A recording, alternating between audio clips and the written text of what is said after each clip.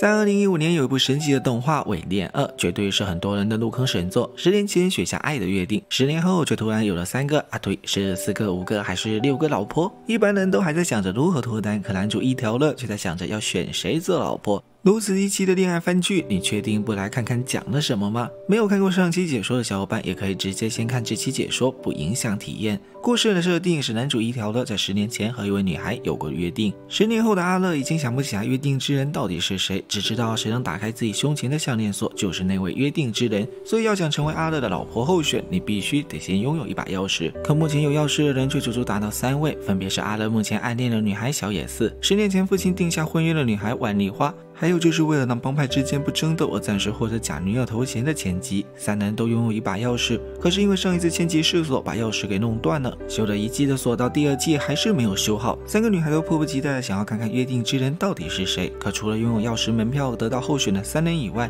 千吉的保镖市长也因为阿乐夸他可爱，导致后面竟也爱上了阿乐。从小到大，他都被别人当成男孩，甚至连领养他的人都没有发现他是女孩。是阿乐唤醒了他内心深处的少女心。可是爱上大小姐喜欢。欢的人就是大忌，加上没有钥匙这张门票，可怜的侍郎基本就是在单相思。可是谁说没有钥匙就不能得到阿乐？侍郎还有最强僚机宝拉，身为千吉家族的杀手，本来宝拉和侍郎是搭档，两人一直都在暗中比较。可比试多次后，宝拉也很清楚他跟侍郎之间的差距，那是无法逾越的鸿沟。但宝拉一点都不嫉妒，他给自己的心理安慰是太大会影响杀手出刀的速度。这次他来找侍郎是为了想要了解侍郎突然改变的原因，结果却察觉到侍郎竟然在为了恋爱而烦。恼，于是便打算推侍郎一把，提出了一场争夺阿乐嘴唇的比赛。本来侍郎是不想搭理宝拉的，但牵扯到了阿乐，这绝对不行。可想要获胜，就必须亲吻阿乐的嘴唇。虽然侍郎肯定是赢得比赛，但他亲吻阿乐的方法却很特别。虽然没有真正亲到，但侍郎还是特别满足。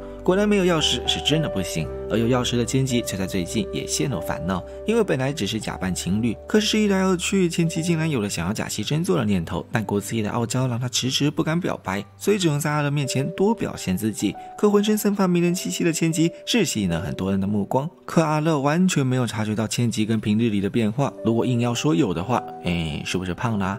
如此直男的阿乐为什么会有女孩子喜欢？或许是因为他的温柔吧。千吉的妈妈在最近回来了。身为女强人的她，平日里忙于业务，几乎没有时间陪伴千吉父女。但即便如此，千吉还是很想念妈妈。这次妈妈的回来，千吉想要跟她一起过圣诞节，但其实父女两人都特别害怕她，一言不合就要把人扔下海喂鲨鱼，一言不合就要让人五马分尸。虽然都是吓吓人的，但没人敢保证哪天就真的做了。而阴差阳错，千吉妈妈竟然让阿乐暂时担任自己的临时助理。不知道为什么，千吉妈妈竟然在对阿乐时会展现出让人费解的温柔。难道千吉？妈妈也有一把钥匙，哎呀，这是不可能的啦！敢这么演的话，还想过审？阿乐在有了帮助千吉妈妈工作的机会后，为了让千吉妈妈有时间陪千吉过圣诞，于是拼命的加班加点，还特地准备礼物让千吉妈妈去送。可殊不知，千吉妈妈的抽屉早已存了不知道多少年的圣诞礼物，这些都是给千吉准备的。只是因为妈妈跟千吉一样都很傲娇，身为女强人的她不知道该如何跟女儿友好相处，甚至她总感觉千吉会因为自己忙碌而怪罪自己，而讨厌自己。这个时候，阿乐突然扇了千吉妈妈一巴。巴掌将他给打醒了，然后告诉他千吉是多么的需要他。而也正如阿德所说的一样，千吉真的很需要妈妈。虽然这次圣诞节是跟朋友一起过，并不会孤独，但千吉还是很想念妈妈。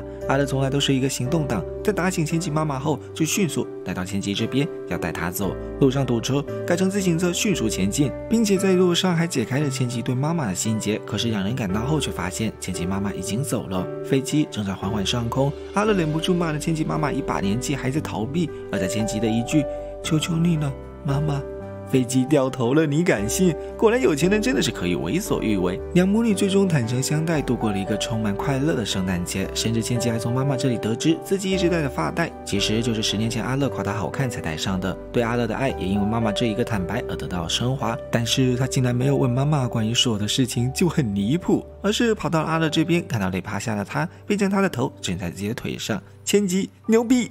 而在隔天妈妈要离开的时候，阿乐还是问出了关于锁的事情，但是妈妈却说不知道。而这一次和千吉妈妈的相处，也让阿乐陷入了烦恼。他跟千吉的假情侣游戏真的是没有任何感情吗？他不知道，他还是口口声声说着自己喜欢小野寺，但是万里花的追求却也让他有些欲罢不能。这个腹黑女孩为了能够让阿乐多给自己补习，于是每一次都故意打错题目，然后就有理由可以跟阿乐继续补习。哪怕补的再多都没用，说不定还会因为自己可爱而得到阿乐的一句“你这个迷人的小笨蛋”。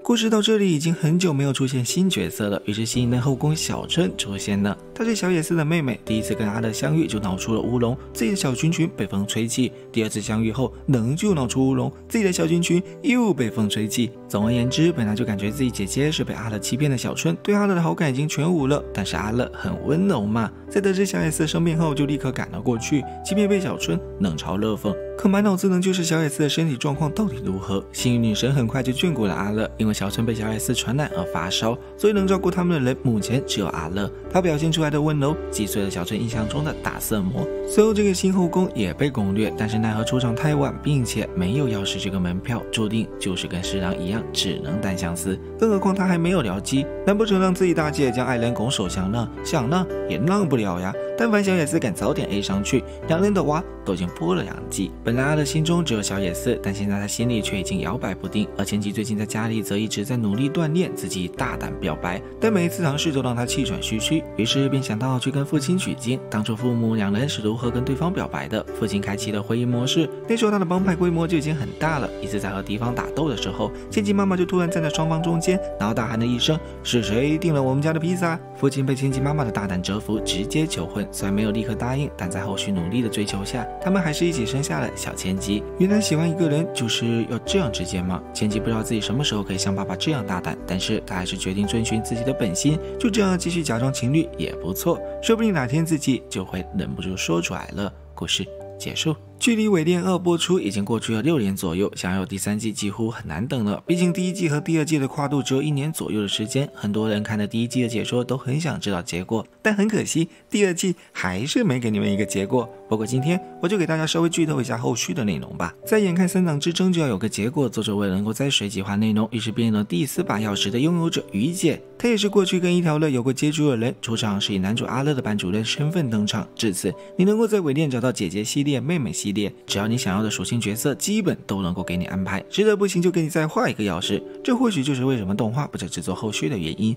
虽然内容仍旧有趣，但观众。可能会产生审美疲劳，留一个悬念去吸引看漫画也是不错的结局。而就在大家听到这里，可能会觉得这是一部毫无营养的后宫番时，人家作者大大就十分明确告诉渣男：我们男人就要专一，做人就要做纯爱斗士，一生只能爱一个女人。所以最后的结尾注定只会有一个女孩胜出。而漫画也交代出了很多关于万里花和小野四千吉等人跟阿乐的过去，也算是将自己的坑都给填完了。而小春和侍郎两人虽然喜欢阿乐，但是因为小野寺和千吉的优先级，他们两人基本不敢有任何过分行动，所以就在自我安慰下慢慢的隐退。而或许是作者当时感觉自己有些过于套路了，所以于姐这个角色出场其实并没有太多的情感表达。然后慢慢的整个故事主线又回到千吉和小野寺两人之间。而万里花这个角色真的是戏份不强，虽然有交代一段过去，但最后也还是自行隐退。而千吉妈妈其实知晓关于项链锁的所有来龙去脉，为什么阿乐会跟四个有钥匙的女孩有过去牵扯？原来四个孩子的妈妈其实，在十年前就是好朋友，所以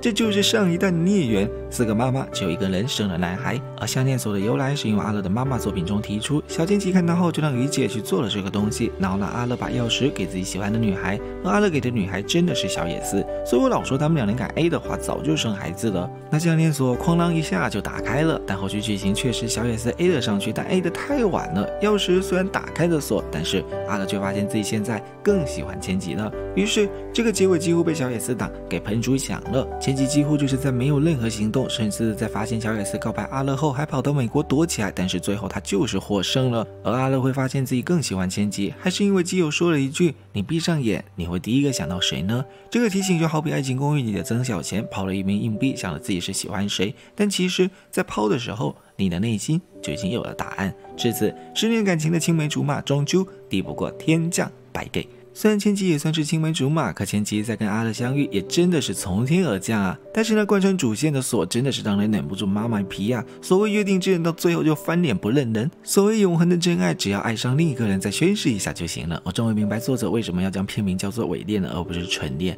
关于几党之争以及几位被阿乐放弃的少女，他们又跟谁结婚生子，有兴趣的人可以去看看漫画。这些在里面都有交代，另外也记得去看看动画，因为我也只是讲了主线剧情内容，很多日常以及细节都没办法细说。不知道各位观众在知道答案后，你们内心最喜欢的女孩到底是谁呢？如果硬要说一个的话，我觉得我还是想做牵起他吧。我是少年，一位迷人又可爱的九七年男孩。如果喜欢我的解说，请点个关注，能不能给我视频点赞、转发支持一下？这对我真的很重要，拜托拜托。